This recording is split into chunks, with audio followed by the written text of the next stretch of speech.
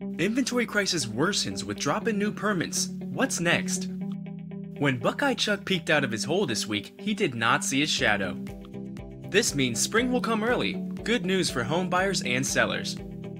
As a matter of fact, buyers are already out in force looking for the perfect home before all hell breaks loose in March and April when the spring buying season hits its peak. Special note if you are planning on selling this year, now's the perfect time to get started. Especially if your house is worth more than $400,000, there's only a limited number of buyers in that price range, and most of them buy in the spring. New home sales to increase significantly in 2020. We are still in an inventory crunch. It will get worse in February and March as more buyers will compete for a very limited number of homes.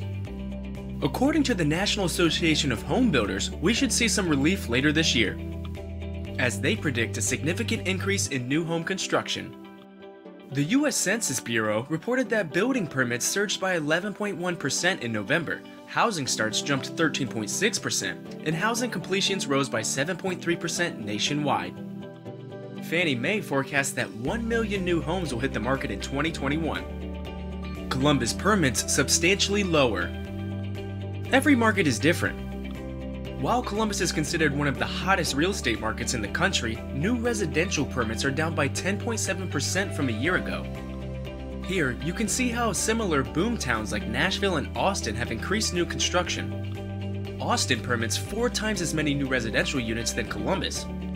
This table shows the total residential building permits issued for 2019 for single family homes and apartments of more than 5 units and the change compared to last year.